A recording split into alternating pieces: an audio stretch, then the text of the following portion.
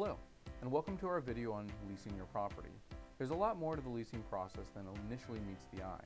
To help you better understand some of the less commonly understood aspects of leasing, such as screening, showing the property, and fair housing law, we have created a video that will highlight important details for you here. Communication. The leasing team will be your number one point of contact. They will create the ads, set the final price with you, and will manage all of the prospect inquiries. Their number one job is to lease the property, and the rental market moves fast, and our leasing agents are focused on those prospects. We know that vacancy costs money, and we do everything we can to minimize turnaround time. If you have a question for the leasing team, because they're in and out of the office frequently, and again, focused on returning emails and phone calls of prospects, it can sometimes take a full business day for them to respond to you. Every Monday, the leasing team will email you an update on your property's performance. If no applications have been received within the first two weeks, they may recommend a price reduction depending on how other metrics are performing for the property. Advertising your property. We spend a lot of time and money getting interested prospects to view your property, and first impressions matter.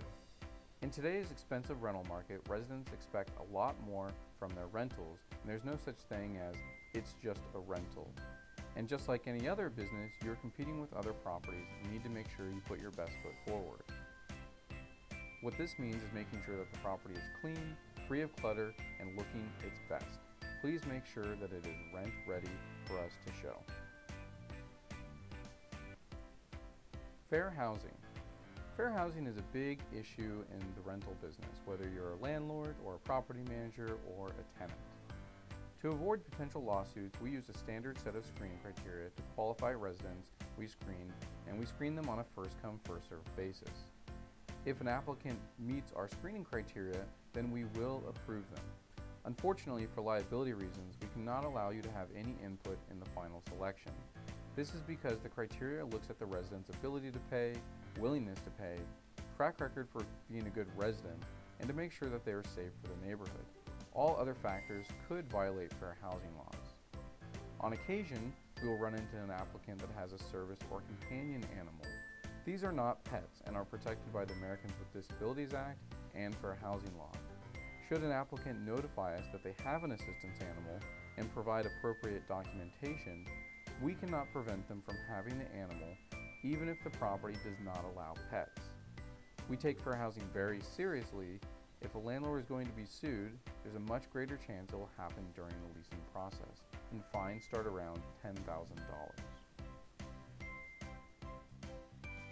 Screening. We look at a variety of things when we screen an applicant.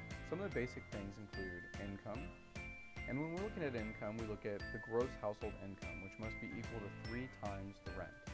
So for example, if the rent was $1,000 a month, then the gross household income requirement would be $3,000 a month.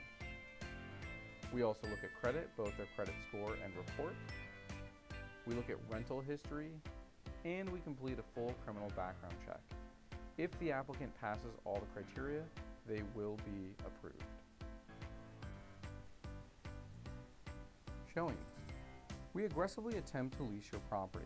We track every inbound call using Google Voice and return every single call in the order they were received. This not only ensures no one is missed, but it is a best practice for fair housing reasons. To help capture after-hour applicants, all interested parties can schedule a showing on our website directly scheduling an appointment onto our leasing team's calendar using a program called ShowMojo.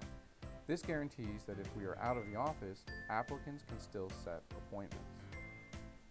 For those of you who are looking to heavily reduce market time and find residents even faster, we use Rently.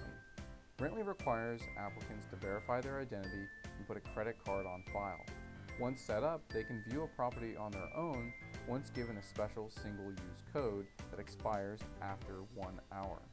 Sleep Sound is immediately notified when they use the code and can contact the prospect while they are on site. Rently is used nationwide and has completed over 1 million showings without a single incident.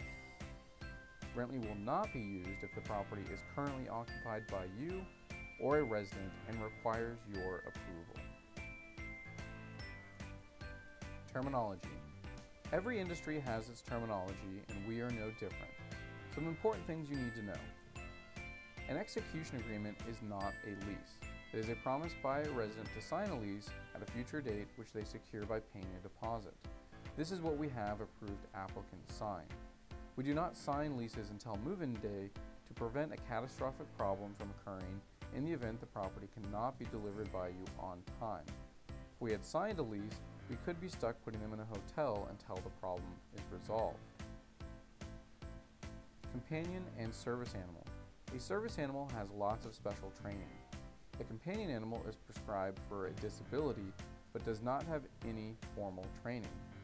Both are protected by law. Section 8. Section 8 is a housing program run by various counties that provide financial assistance to tenants who need help with housing. Section 8 tenants are a protected class in Oregon and cannot be denied housing on the basis of receiving that financial assistance. Sleep sound policies you should know. It is very common for residents to have to give notice to their prior landlord. In other cases, a resident may want to apply but can't move in for several weeks. For this reason, we had to establish a hold policy. We will hold a property up to 14 days maximum. After this point, any approved applicant must start paying rent. Service and companion animals. Just to recap this, we cannot prohibit service or companion animals as previously mentioned. Pet policy. Pets are entirely optional and at your full discretion. If you want to allow pets, our typical terms require that the applicant provide an additional deposit of $400 per pet and an additional $25 a month in extra pet rent per pet as well. We also have a deposit policy. We collect a minimum of one month's rent as a deposit. In some cases, we will increase the deposit to as high as two times the rent, depending on the applicant's credit and rental history. Sometimes applicants have old credit problems that have lowered their score. If they demonstrate they are no longer having payment problems, we will approve them with a larger deposit to offset any additional risk.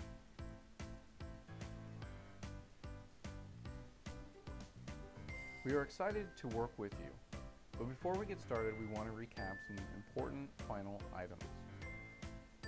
Getting a property rent ready is not an easy task. Have a plan in place and be very thorough. We've supplied two checklists. Please carefully follow the list. Cleaning is very time intensive and needs to be white glove clean throughout. Think hotel clean. When you go to stay in a hotel, you do know that other people have stayed there before you, but it doesn't look like it.